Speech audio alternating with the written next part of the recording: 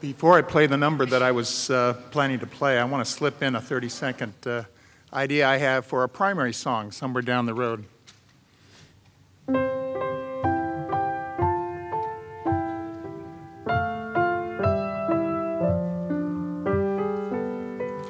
A, B, C, D, E, F, G, H, I, J, K, L, B, G, and T.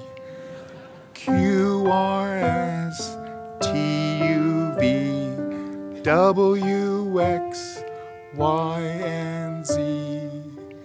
It's as easy as ABC. Practice Christ like love with me.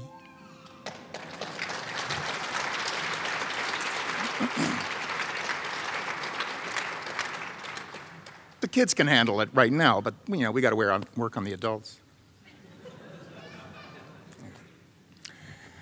Lead Kindly Light is one of the most beautiful hymns in the hymn book. And one day I was reading, and I noticed, reading it, and I noticed while the, the music is beautiful, has some beautiful harmony, the lyrics are some of the darkest that we have in all the kingdom. Darkness, gloom, uh, murkiness. And I got to thinking, that one thing we can all identify with in here and beyond is how our struggles, our challenges, have been some of the most exasperating, darkest that we've ever faced.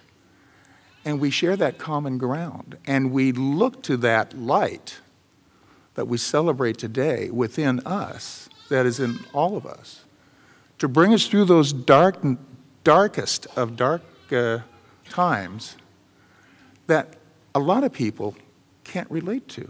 They have their own things, but a lot of times we have been pummeled to our knees in desperate uh, times to seek out our Father in heaven and help us through.